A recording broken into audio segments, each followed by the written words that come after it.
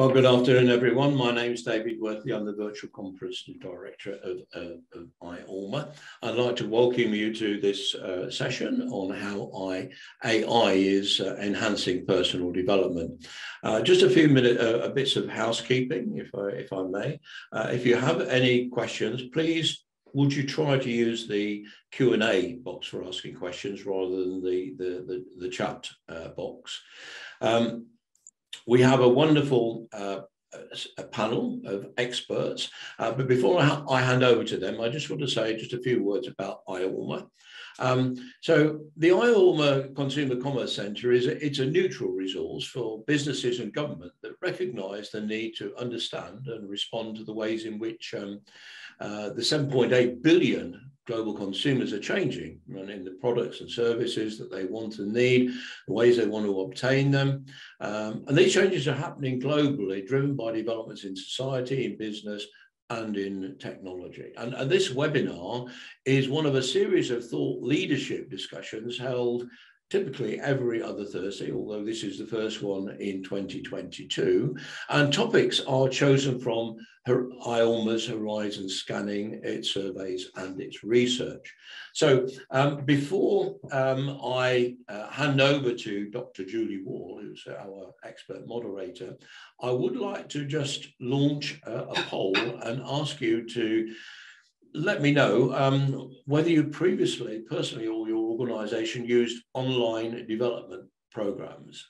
Um, and if you have, um, whether you found them to be successful. Uh, so the poll should be launched now. It should be available on your screen. Uh, I would just ask you to uh, give your responses. I can see some answers coming in now. So what you should be seeing on the screen are the results of the poll, um, which basically are, are, pretty much split 50-50 uh, in terms of uh, the answers. Uh, so now, um, without further ado, uh, I'm going to hand over to Dr. Julie Wall, um, who's our expert um, uh, moderator. Julie. Thank you, David. Good afternoon, everybody, and thank you all for joining this webinar on the topic of how AI is enhancing personal development. Um, over the past couple of years with the pandemic, the lockdowns, and working from home, these have all changed how we individuals and societies think and act. Um, and as a result of this, personal development has become more important um, for one's career, cognitive health, or just pleasure, really. So every person is different when it comes to this every person has a different style of how he or she learns and processes new information. But learning is likely to be more effective if these preferences are actually taken into account. Um, artificial intelligence allows learning to be personalized. Um, it allows it to be personalized by adapting to the needs of each learner, whether it be by means of encouragement, um, the speed of delivery, or even the different types of media that can be used.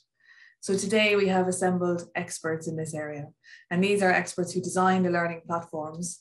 And we will discuss the benefits that AI poses for personal development, and we will talk about the challenges ahead for those who both train and educate. Um, I'd like to move on to introduce myself and our excellent panelists. So my name is Dr. Julie Wall. I'm a reader in computer science and Director for Impact and Innovation at the University of East London. Um, personally, I work on I'm interested in research in deep learning, applications of deep learning, um, natural language processing, and natural language understanding. Um, so for our panelists, our first panelist is Callum Denyer, co-founder and CEO of Wineness Limited. Callum, would you like to say a few words about yourself? Hi, yes, thanks Julie, and hi everybody. Um, yes, I'm Callum Denyer, co-founder and CEO of Wineness. We are actually working in partnership with the University of East London on a Innovate UK grant funded project. If you don't know what Innovate UK is, it's the UK grant funding body. Um, very fortunate to be working with, with Dr. Mohammed and Julie on this project. Um, my interest in this topic, I think, actually comes from my own experience. Having left the corporate world, trying to work out my own path, my own career, and kind of going on that personal development journey, I realized that the, the tools in the market aren't quite sufficient and quite accessible to most people. So my mission and our mission at Winess is to help people find fulfillment in their work and their lives by um, providing more accessible services that help people in their personal development journey. Excellent, thank you, Carl. Uh, our next panelist is Dario Depriu, co-founder of Captica and CEO for Human and Machine Limited. Dario, would you like to introduce yourself? Yeah, sure. Thank you, Jen. So, hi everybody, nice to meet you. Uh, so my name is Dario and my background is in human computer interaction. And I spent more or less 20 years working uh, in technology and uh, product development for software and technology company. Uh, basically, I work in, I spent a lot of time in corporate world, and I worked in startup, made some successful one, and then I moved into consultancy. I set up my own company, Human and Machine, as you say. And more recently, I start uh, operating uh, as, as a coach, as executive coach, and supporting uh, person around the clients around the world about personal development. And what I suddenly came to the conclusion is that uh, I was missing a way to analyze my client's progress and my progress around that. And that's why, together with my, my colleague Maddy, we decided to found Captica. That uh, is nothing more that uh, we try basically to, to pave new understanding in the personal development, and we leverage AI to do this. So basically, we do this one with a platform that just analyzing real-time dialogue between the coach and the coachee, who is the client, in one-to-one -one or multiple team session. And we provide basically speech to text, summarization, and computer, computational analysis dialogue around that one. So the, the goal specifically we try to solve is how we can improve effective effectiveness in coaching intervention. We have some use case already. So we've been starting using and uh, piloting our product with coach supervisor, with trainee, with HR and learning development function inside, inside company. So we are in the, in the piloting phase at the moment. Thank you. Thank you, Dario. Next, I'm very pleased to introduce Debbie Colley, uh, co-founder and chief executive officer of i3 Simulations. Debbie, would you like to say a few words? Sure. Uh, thank you, Julie. Um, hi, everyone. Good afternoon. Really pleased to be here. I'm Debbie Colley. I'm co-founder and CEO of i3 Simulations. We are a deep tech company offering medical training simulations, uh, which are in fact not only immersive and interactive, but actually intelligent we use the power of machine learning and um, advanced extended reality technologies to be able to provide personalized and adaptive simulations. So in, in a way that can be quite complementary to what's already out there as an existing offering, or in some cases, uh, it can potentially even replace an existing offering. And what we do here is we not only use the benefits and advantages of AI and machine learning on the back end of uh, analyzing the trainee data, but we actually take that data and complete the loop by being able to provide adaptive simulations so that it's far more personalized to the um, end users. Thankfully, we have been, um, our first program in healthcare have been funded by uh, seed funding of that came through from Facebook. So we, but we are platform agnostic. We're not necessarily, it's a disclaimer, not necessarily married to any particular um, hardware vendor out there. However, that led us uh, the, the pathway to get today into 80 plus global hospitals with our adaptive training simulation. So we're very pleased to be here to share some of our journey and uh, knowledge within this platform making. Fantastic. Thank you, Debbie. And our final panelist is um, Mohammed Hossein Amir Hosseini, my esteemed colleague and lecturer in computer science and digital technologies from the University of East London. Mohammed, would you like to say hello? Hello, everyone. Uh, it's a pleasure for me to be here with you today. Uh, uh, I'm Dr. Mohammed Hossein Amir Hosseini. Uh, I'm a lecturer in computer science and digital technologies at University of East London. Uh, my expertise and research interest is uh, application of artificial intelligence and machine learning uh, in different disciplines, especially psychology, mental health, and personal development. Uh, I've also used AI and machine learning in other fields such as cybersecurity, identity resolution, and social media analysis. so recently I've been working on an Innovate UK funded project uh, with uh, Winus Company, with Callum, uh, which is that the project is related to personal development. And yeah, that's all about me. Excellent. Thank you, Mohammed. Okay, so let's kick off with our questions. Please note that as a participant, you can write questions in the Q&A button at the bottom of the screen throughout the webinar. And towards the last 15 minutes, we will go through as many of your questions as we can um, at the end. Okay, I guess the underlying technology around that you're all using is some form of artificial intelligence. And um, AI is said to enhance personal development. So what aspect makes it most effective? Mohammed, you were last to speak. Shall we go back to you? Uh, yes, sure. Uh, well, first of all, we should know that we are talking about weak AI, which is accessible and uh, can be used to automate routine processes. Strong AI is for experimental projects and uh, cannot be easily accessible because of different reasons. Existing infrastructure, resources which are required, and ethical issues which need to be addressed properly. So considering this point, in personal development, the first important thing that AI can help with is increasing your self-awareness. Uh, and uh, uh, an AI-powered system can help you to understand your preferred learning style, your preferred representational system, the way that you can learn and understand things better, the way that you can have a more efficient communication with other people, for instance. Another thing that AI can help with is uh, to provide personalized learning experience, as Julie mentioned in the beginning. So using AI and machine learning models, which have the power to recognize many individual learning patterns, can help you to find out which type of learning experience or uh, object gives the best result for individual learners. Uh, for instance, in an organization, each employee will have a preferred learning style and learn most effectively using a specific method. This could be through uh, video tutorials, written content, in-person training, audio guided presentations, or something else. So an AI-powered training program allows the training program to be adaptive, where the uh, modules are modified to suit the needs of uh, each employee, for instance, or the LMS might offer video tutorials to certain employees, but um, auto uh, transcribe the, the, the, video to text-based articles for other employees, for instance. So the time is saved, engagement is encouraged, the learning process is automated. Uh, another thing that uh, um, um, is uh, integrating training into the routine workflow. Uh, so uh, most of the learners are not satisfied either with the you know, schedule of training or the format of information delivery. Uh, so a learning system powered with artificial intelligence is a good solution to this problem. The AI-powered learning system will provide uh, a program, materials, and schedules that are personally developed for uh, each employee. AI can also be used for reinforcing training and development and improving completion rates for training programs.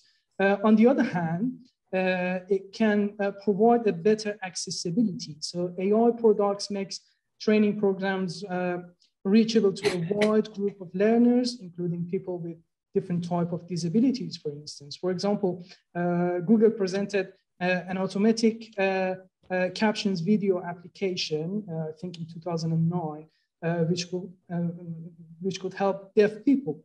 So besides the, the, application uh, was uh, equipped with auto translation functionality that helps people enjoy uh, watching videos in more than you know, 50 different languages. moreover, it can be used for measuring learning and training effectiveness. So using AI systems, you can collect and analyze data quickly to get certain insights on learning effectiveness. So the insights point out learners' progress and emphasize learners' knowledge gap, for instance. So um, on the other hand, it can be used for creating uh, digital training content. So you can use a well-trained AI system and learning content can be automatically created or sourced from the internet. So the AI system then uh, uh, it, can crawls the web for research papers on a specific topic that, for instance, in an organization, the employee is looking for and provides relevant insights from these papers to help the learner understand the process. So uh, uh, finally, on the other hand, I think uh, AI can be um, um, a reliable assistant for a coach, as it can help the coach to make sure that the coaching session is going on in the right direction and the coaching model is delivered in a high quality. So it can also help the coach to have a better time management during the coaching sessions. So uh, these are some of the points that I think uh, AI can be helpful in for and can be used for enhancing the personal development and learning process for uh, individual and especially in organizations for uh, employee. So there are other points, but I think uh, it's better to keep it short and uh, you know as the time is limited. Yeah, thank you. Thank you, Mohammed. And I'm sure we will dig down into some of those topics that you mentioned um, during this um, roundtable. If we are looking at it from the coaching point of view, Dario, what do you think is the most effective part?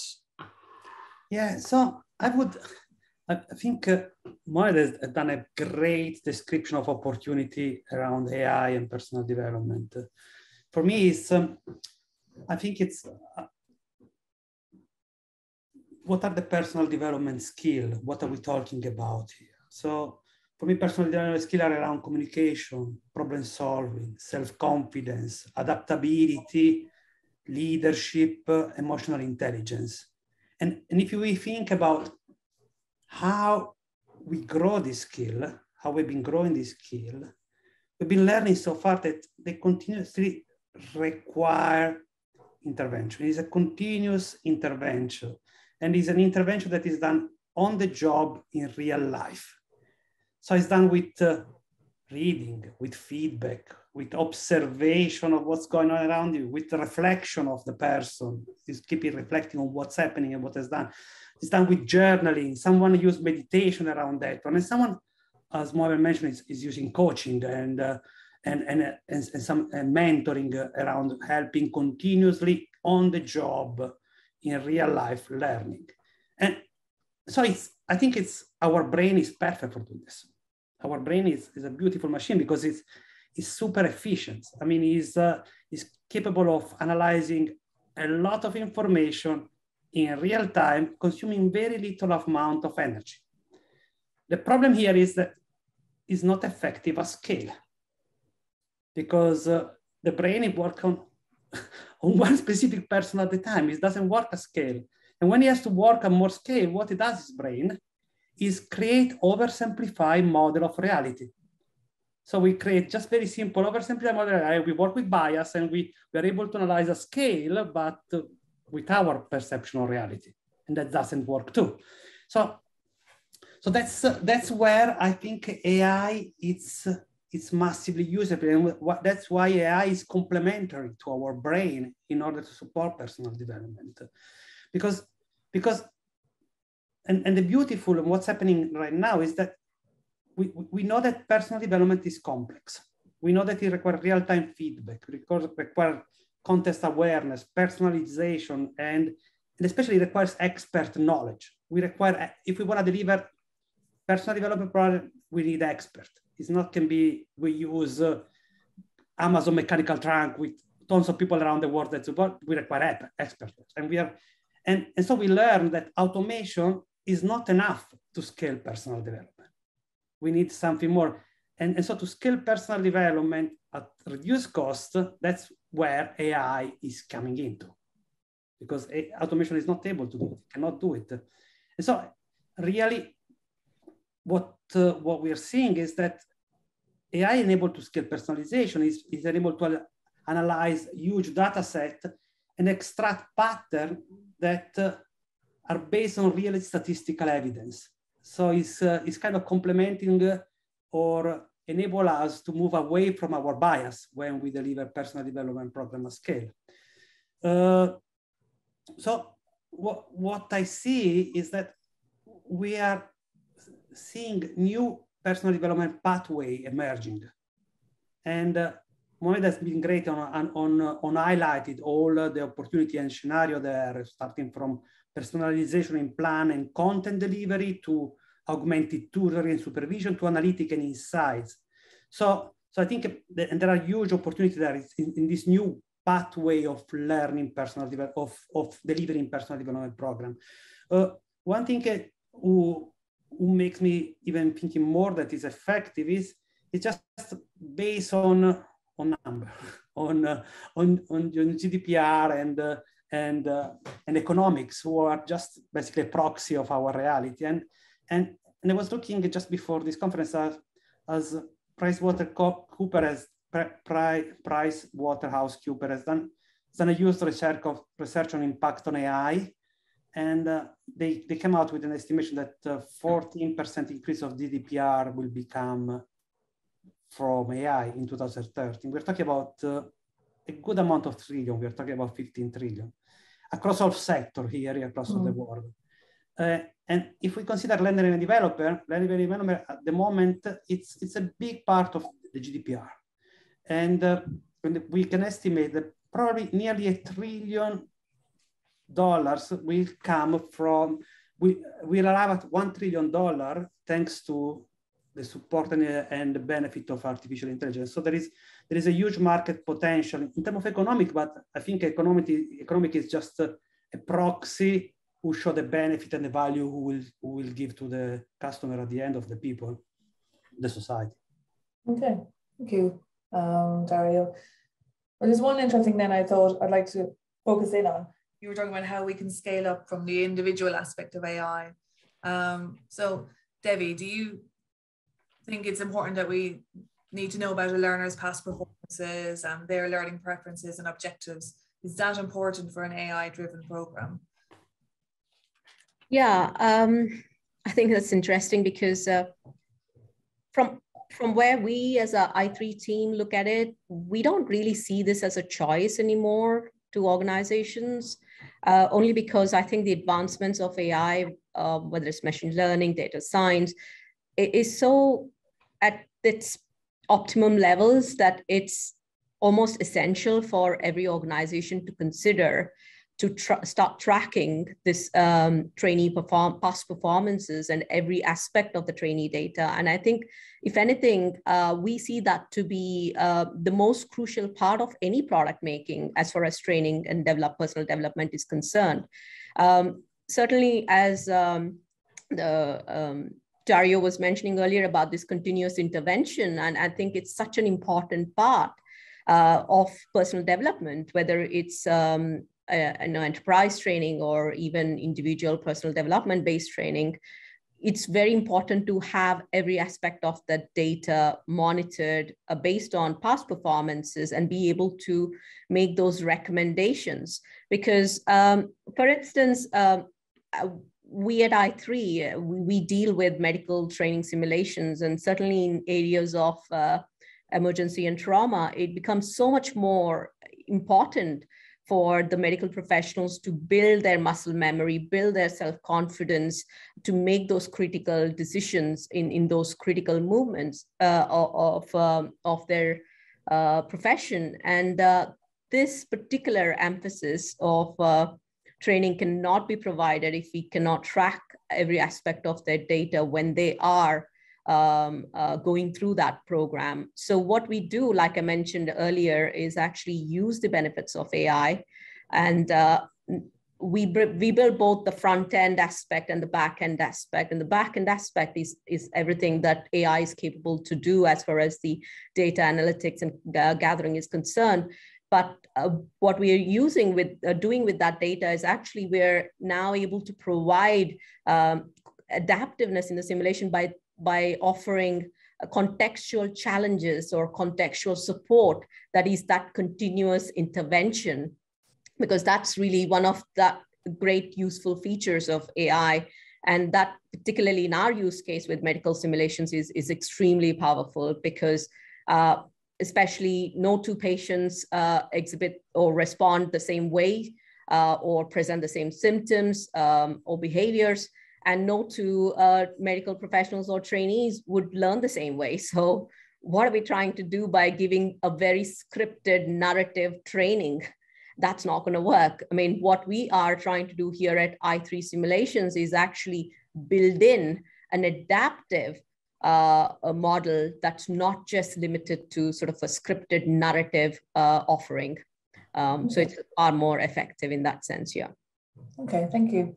And Callum, you know, your background is around creating technologies that kind of empower people. Um, how does this kind of using people's attributes and data and history actually, how important is that? Yeah, I think I think it's very important in terms of advancing the human race in, in, in some senses. You know, I think there is an inherent ethical risk, you know, in terms of the dependencies that we put on these technologies and the responsible adoption of them.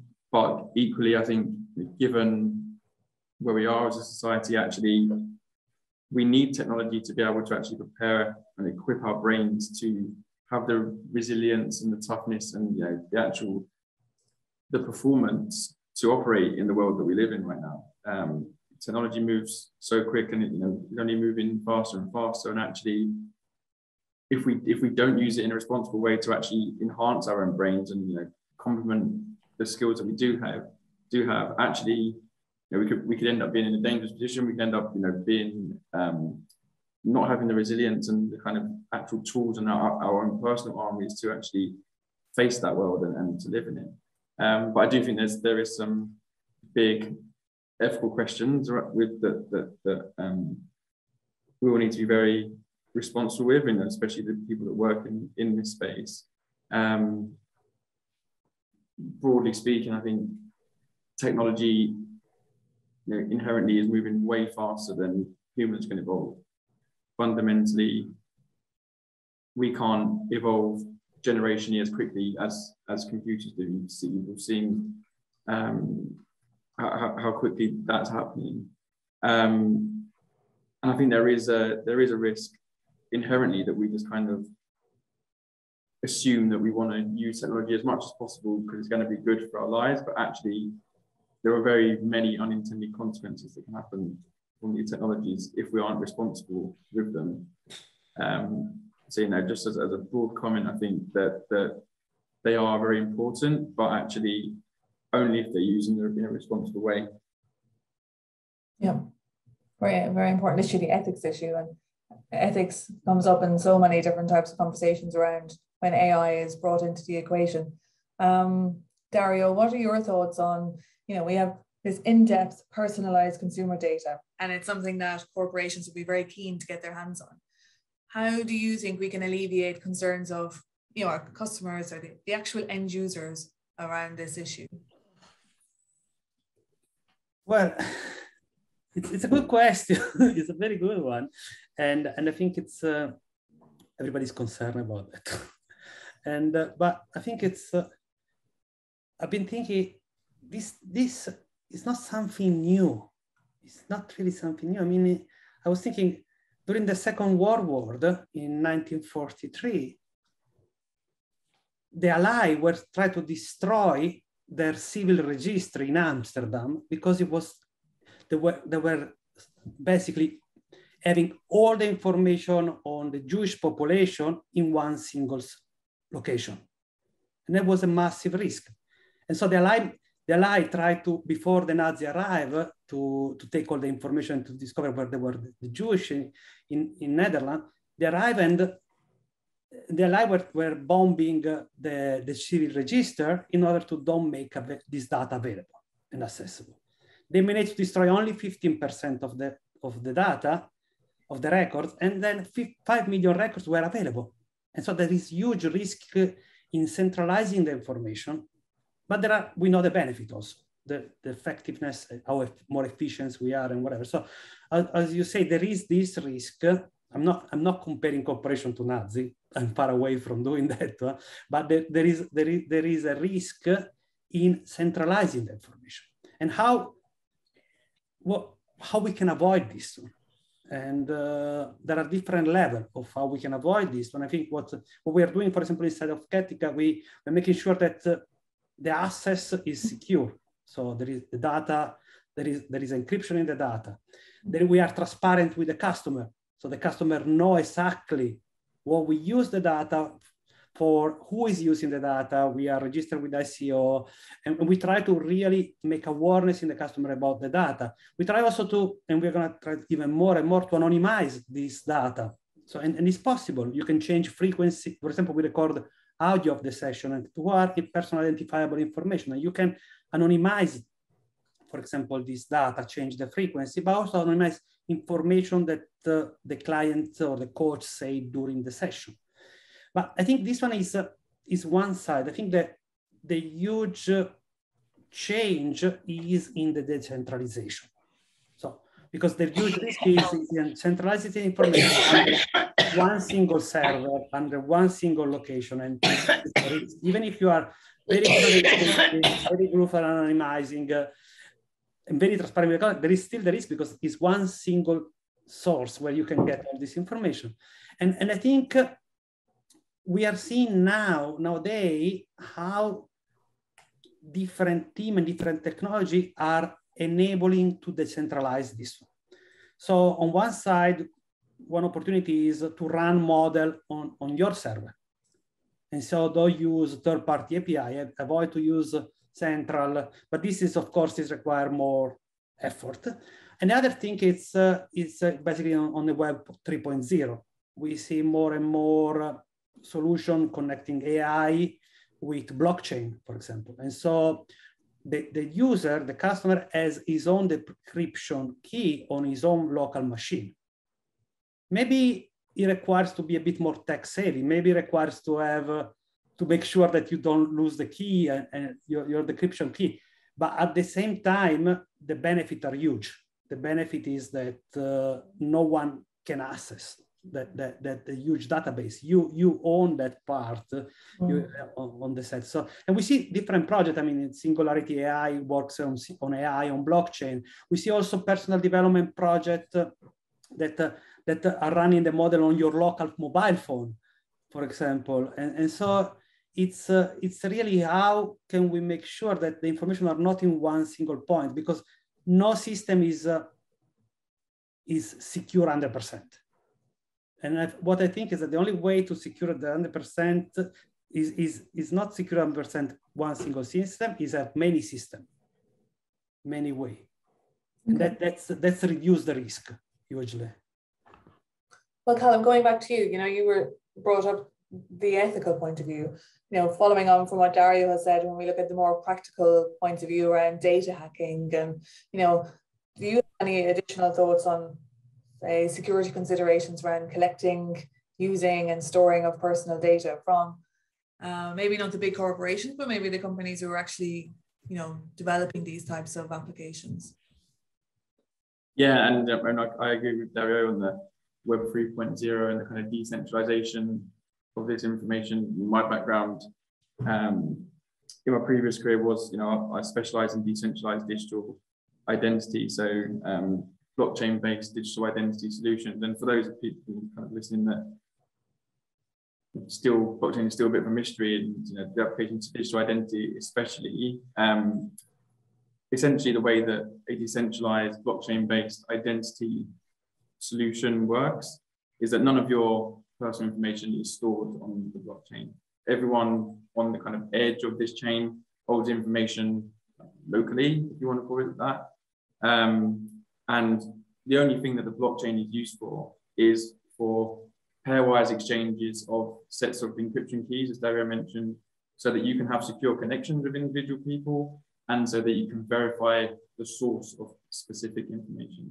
So it means, as a simple example, if I'm going out to a bar, I mean, I, I don't get ID'd at bars anymore, unfortunately, but if I was 10 years younger and I was being ID'd um, at a bar, Whereas now I have to give my driving license over, they might take a copy of it, they keep all that, you know, and it's got my name, my, my home address, and it's got all this peripheral information on it. But all they need to know is my age. Actually, they don't even need to know my age. They only need to know that I'm over 18. Um, in a decentralized identity world, all they would need to do is verify with me that I had a trusted credential to say that I'm over 18 that had been verified by someone else there'll be no way that I could provide that with them. And they just use a blockchain to check the veracity of that, of that credential. So you can start to see actually that in that kind of situation, I'm in control of my data. I'm explicitly sharing at every single point who sees my information because the information is only hold, held by me. And all I've got otherwise is kind of certifications and verifications that the information is true. Um, and that's why, you know, the kind of decentralized and Web 3.0 blockchain based solutions are quite revolutionary, I think, in the security and handling of information because they completely avoid this issue of holding data in one place, as, as mentioned. Um, and it's a strong disincentive for any hacker to hack into just my mobile account, to, to hack to get just my information versus a hacking a big database where they can get lots of people's information. Um, to your kind of broader question, I think that as startups and as, as kind of businesses working in this pace and at the kind of forefront of change, we all have a big responsibility. Um, I spoke about how I think the human race and the human brain can't evolve as quickly as technology is. Um, certainly, regulation lags behind the technology. Um, and so I think there's a, there is a strong onus on people working in space to kind of self-regulate as much as possible and to put pressure on the regulators and on each other to to use best practices to really you know take responsibility and understand the implications of what we're dealing with and take very seriously the ramifications of what could what could happen if that went wrong um, because ultimately if we if we just just depended on GDPR or just depended on of protocols that were in place, you know, in a year's time, a lot of those will be out of date already. The technologies moved so fast, hackers move faster than than that. Um, so you know, if we want to make sure we're, we're doing the best I can to be secure, it's it's on everyone's uh, in the space to be responsible. Okay, very good. Now that we've kind of heard a bit around the ethics and the security implications, what about the more social issues around incorporating technology. So, Mohammed, maybe we'll go over to you first. Um, you know, our AI systems a real substitute for interaction with a real human expert in this domain. So now, you know, we're looking at removing the importance of humans in this loop. What are your thoughts? Uh, right. Okay, can you hear me now? Yep. Okay. Uh, well, um, in regards to um, substitution uh, for you know for interaction with uh, a real human expert, I think um, the most important thing is that we should know that in a personal development process, uh, we might be dealing with uh, cognitive skills. We can uh, automate non-cognitive skills, but when it comes to cognitive skills, there are still many challenges for using AI machine learning models and for training your models. So we are using a weak AI at the moment, not strong AI. So it's better to say that AI-powered systems can be used for augment, uh, augmentation for the personal development process and learning experience. Uh, they can be considered as efficient uh, assistants for learning, but they cannot fully replace a real human expert uh, in this domain, at least now. We can automate some of the processes, but when it comes to a proper coaching process, for instance, still we will need some insights and analysis from a, a human expert. Uh, so processes are not fully uh, automated. So I would say uh, there is a potential, but not now. But we should not be scared that you know, the, the, coaches or the teachers and mentors are going to be fully replaced. Uh, routine, and the, the, the, main reason that I'm saying this is that routine tasks and daily tasks and uh, cognitive tasks are going to be automated. That's right, which uh, give the coach and you know, teacher and mentor more room to focus on cognitive skills and analyze and do more complicated tasks. So AI-based digital tutors have been created and used but as an experiment. So they haven't been developed to be used in the real life, at least now. Just a couple of years ago, uh, I think Defense Approach Research Agency sponsored a study that was called to uh, develop a digital tutor to copy the uh, interplay between an experienced specialist and a learner.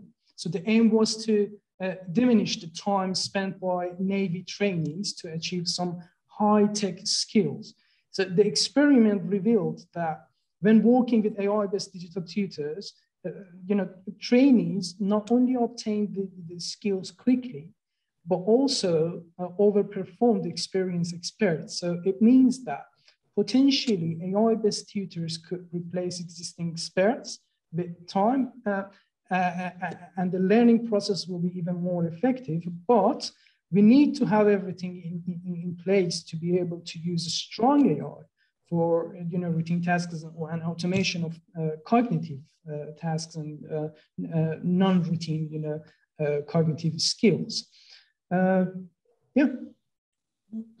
Thanks, Mohammed. And Debbie, what are your thoughts on this? Um, Debbie, you know, will AI reduce the need for that face-to-face learning, which we, you know, which has always been so important when it comes to education and other skills-based learning?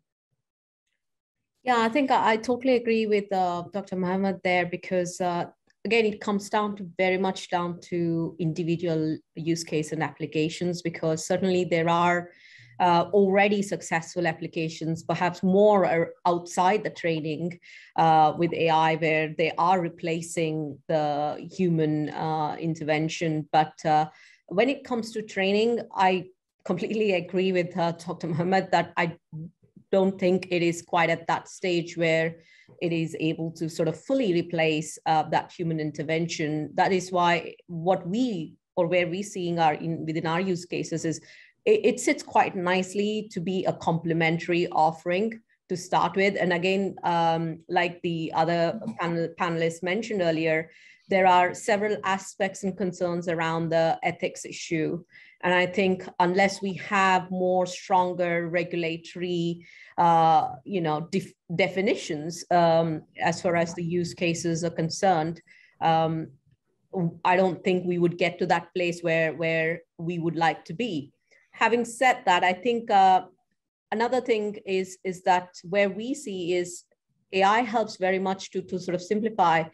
At this point, it's really helping with the prediction, helping with prompting or making recommendations. So this is where it, it currently is very uh, popular, I would say, when it comes to the training offering. So yeah. Thanks, Debbie. I'd like to ask you all the same question, maybe ask for like quick answer. Um, so Dario, we'll start with you. What, what are the challenges at the moment? many. As a quick answer, I would say many. Quick, quick answer. but now I'm gonna, I'm gonna be articul- I'm gonna try to articulate a bit more, Julie. So I think we saw security challenge, sure. The other challenge is available data set. I mean, we're talking about a lot of the personal development is around confidential information, especially if we talk about coaching. So they're not available available data set of confidential information is a paradox by himself. confidential can I be so already yeah. find the data set is, is already a challenge. The other challenge is clarity of uh, baseline and metrics to measure personal development progress. There, there are not.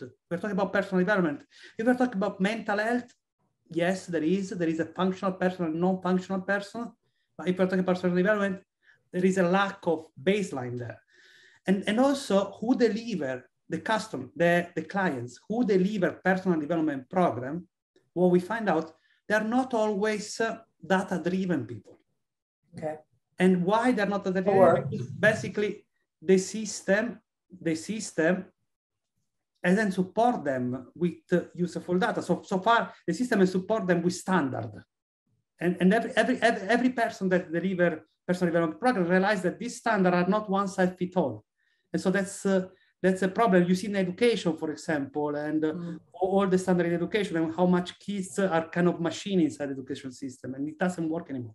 So what I think is that to, to overcome this challenge, first of all, you need the phase approach.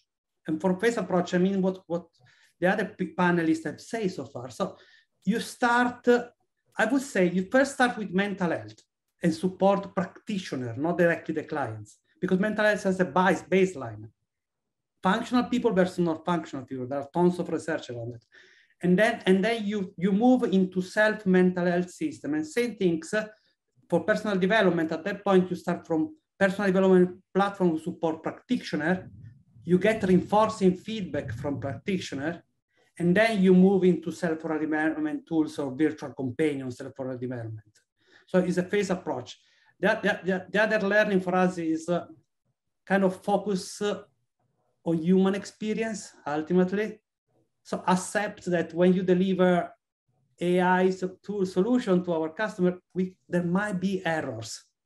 There, there might be tons of errors. So don't, don't face the customer directly with the effort, error, but just try to have empathy, humor, and, uh, and maybe show the pattern instead of showing insights that they have directly the error.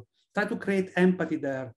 And, and then, and then, I mean, there is a huge thing, so, and that's is conclude, is that I try to avoid prejudice assumption in the algorithm, but then I, I'm gonna open up the, the Pandora box of ethics and AI and all of that. But I mean, self-improvement model, we will need to get better at that over time in the future. Yeah. Thank you, Dario. If there's any left. so, um, Mohammed, what uh, any other, maybe from an academic point of view, is there any other challenges that are, you know, still in this domain? Uh, yeah, thank you, Julie. Yes, I agree with Dario, and I would like to add a few uh, more points to it. Uh, so, as Dario mentioned, data is the biggest challenge. So, there are not many publicly available data sets which can be used for training AI models uh, that are uh, going to be used for personal development. So, any data related to psychology, mental health, personal development, coaching is really difficult to find. And the main reason is that you are dealing with personal data. So privacy and ethical aspect can become a, a, serious concern. That's why most of the time conversational data sets or other type of data which might be relevant to the field is used for training personal development AI powered systems. Uh, and you need to adjust the data based on your needs. So another challenge is labeling the data sets, which is very difficult and time consuming process. So it's difficult to find a labeled data set why most of the issues that you want to address in this field are classification issues. So, uh, so this, this can be a really, you know, a, a big challenge uh, for experts in this field. Another challenge is, um, which I think is one of the most important challenges, is algorithmic bias. So if you are dealing with a biased data, it can damage the, the, the, results or outcomes of your AI models. So if your data is, uh, good to uh, favor a particular gender or race or educational status, your machine learning model or AI model may uh, interpret this as a, a, you know determining feature. So uh, that's that's going to be a really you know big challenge. Uh, another important challenge is privacy and security. So uh, AI and machine learning solutions require a, lot of you know, data to work effectively. So a lot of this data will have to come from your learners. Some of this data is private and, and, should be treated as such. So this means applying all the required privacy measures and you know, adhering to any you know, relevant regulations. So uh, uh furthermore, I think none of this data should fall into the hands of you know people who, who don't need to have access to it, whether internally or externally. Therefore, you you should seek to take all measures that uh, you know make, make your data secure. Uh, another big challenge is false information. Uh, so imagine that you know to get the most benefit out of the system. Uh, for instance, in an organization, employees should be encouraged to contribute accurate up to date and uh, truthful information. So you are reliant on, uh, on your end users to feed the machine uh, with the right data. After all, inaccurate data obviously will impact your results. So you should handle, clean, sort, connect, and, and share your data with care to retain its, its accuracy. And finally, I think the, the, the, last challenge that I'm going to mention is transparency. So you should be fully transparent and disclose what data is collected uh, for the AI and, and, machine learning models and what decisions are made with it. So if an employee in an organization is dealing with an AI rather than a human, you should let them know and you should tell them how the algorithm works. So uh, yeah, these points are you know some of the most important challenges that uh, I wanted to add to whatever Dario mentioned. Thank Thanks, you. Mohammed. We actually have a, a related question to what you just said last from the audience. So um, Tommy has asked about outsourcing is increasing exponentially. And what does the panel think of outsourcing human rights decisions to AI? Um, maybe Devi and Callum, what, what, are your thoughts on that? Devi? Yeah, I think um, when Dr. Mohammed was mentioning about the challenges, certainly I completely echo the same, especially on the uh, the algorithmic bias as well as the uh, the da- data security. But coming back into the bias aspect, why? Partly it's also because we humans are biased and we're biased every single day. Uh, and that itself is a major challenge. And uh, when these algorithms are put into place, um, as much as I wouldn't like to really pick on any particular gender here, uh, it is a very known and um, information out there. A lot of these programs written are mostly written by the male um, male audience, and uh, uh, that clearly is is reflecting on some of the outcomes these algorithms are generating. Uh, and these have there's so many um, uh, news and incidents out there um, talking about these and uh, the implications of, of this bias. Um, so I think um, overseas um, outsourcing um, you, you, know, human bias is, is I think, is, is continue, will continue to remain a major challenge. Um, uh, but unless, like I said, they're all going to be quite connected in a way that uh, each organization have to work very hard in terms of uh, what, what regulatory measures and what the procurement measures and uh, uh, you know, uh, the ethical aspects of, of their programs and solutions. So it is something um, we're all learning, we're all reflecting. And I think we need to reflect and learn pretty quickly to get this right. Uh, it is a, definitely a very serious concern, um, yes. to be watched very care carefully and closely. Yeah. Thank you. And Callum, anything you want to add to this one? And yeah, so I think um, regarding the human rights question, I think the fundamentally that comes down to whether or not there's a human in the loop um, in that process. And we're talking about the bigger challenges previously. I think actually, and I think this is a very real risk, and we're, we're basically kind of in this situation right now, is that we're on the precipice of losing control of what a lot of these models are doing. In fact, in some cases, we may already have. Um, I think you know with with how machine learning works inherently, it's learning stuff by itself, right? And if if the outcomes of those analyses can be used to upskill the human learning process and they can understand and they can use that information to make decisions, that's brilliant. But if we get to uh, increasing dependency on these solutions to make decisions by themselves we don't understand, I think that's very dangerous. Um, and I think you know I do think that there are situations where that's already happening. I think if you look at some of the big um, social media giants, even that you know that serve billions of people, some some you know most people, if not all people in that, in those organizations, won't understand fully like what the algorithms are doing. Yet they're making decisions every day that impact mm. societies and people's lives, and to me, that's that's very dangerous. I think that's very dangerous. Um, and it, it, comes back to my point that technology will, if you let it go faster than we can, but we have to accept that almost we're inferior in that sense, and we have to be have some humility almost and controlling it, and like you know, you know, we, we can't keep up, so we're going to kind of we're going to stop, uh, we're, going, to slow down, we're going to pause, and we're going to catch up because we just let it run, but we, we don't know what we, quite frankly we don't know what will happen. Um, and I think you know, it, as a in the commercial world and in the kind of capitalist and competitive world that we live in, actually, there is a real danger that we're all racing to compete and be the first to market and then to have the biggest market share and all the rest of it. And actually, um, overlooking some of these more important real human aspects in doing that is is is a danger.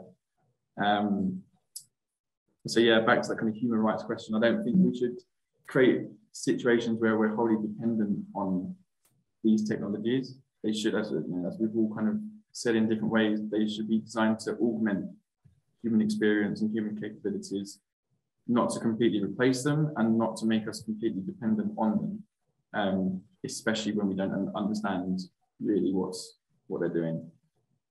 Okay, thank you, Callum. I did have a like a thought myself when you were talking. Um, you know, we've had discussions around how data is a major, the limitation of data is a problem in developing AI. And, yet we also have a worry that AI and machine learning kind of get out of control. Is is that a limiting factor? Um, maybe Dario, because you mentioned the issue of data, is that difficulty of obtaining good quality data to build good quality models? Is that a limit to how how far we can take this technology? Yeah, it, it's a limit, but it's also an opportunity, I think. What I mean is that, uh, yeah, there isn't a, a common perfect data set we can use to train each individual model. But that's enable also all different company, all different government to create their own one. Mm. So there can be variety of this. And maybe that, that can be also a solution to, to, to avoid bias because there are many different data sets that we use for training. So, so I think it's uh, definitely we see, so it's, I, th I think it's, uh, it's never black and white. I don't have a black and white answer to yeah, your question. I know. I, I, I have I have a I have I have two two two perspective here. On one side, I say it's limiting us a lot because we have no data set because information are confidential. And labeling, there is a, not a unique way of labeling because we are not in a medical space where there is functional and non-functional, but everyone, every theory, every framework have a different way of doing that. So it's, it's a huge complex world On, on the other side, I see the opportunity because uh, so there is not a unified perspective, not a unified point of view.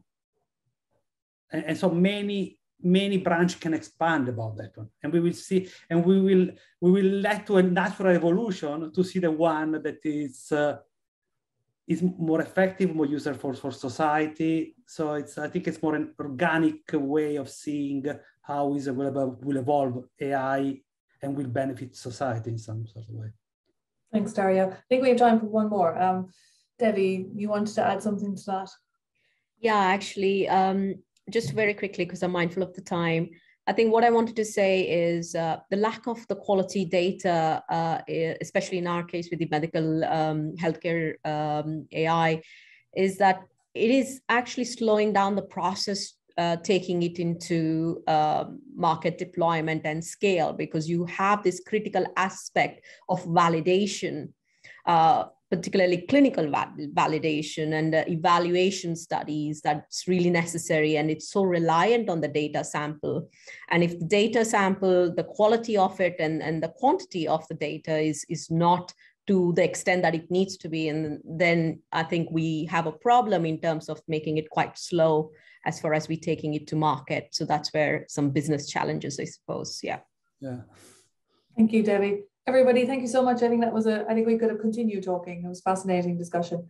Um, I would like to thank all of our participants.